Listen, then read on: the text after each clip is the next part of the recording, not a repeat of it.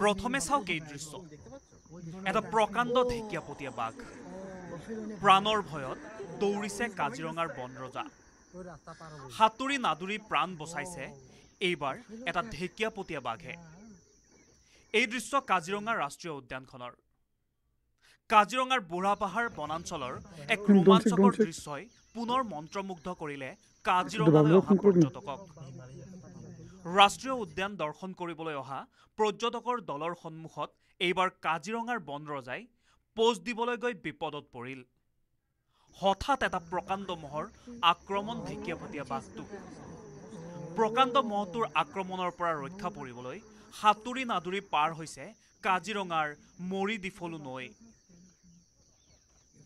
আগে আগে বনৰজা পাছে পাছে মহ বহু সময় ধৰি পানীৰ মাজত আবদ্ধ হৈ পৰা বনৰজা আৰু মহৰ এই যুঁজ দেখি মন্ত্ৰমুগ্ধ হ'ল বহু পৰ্যটক।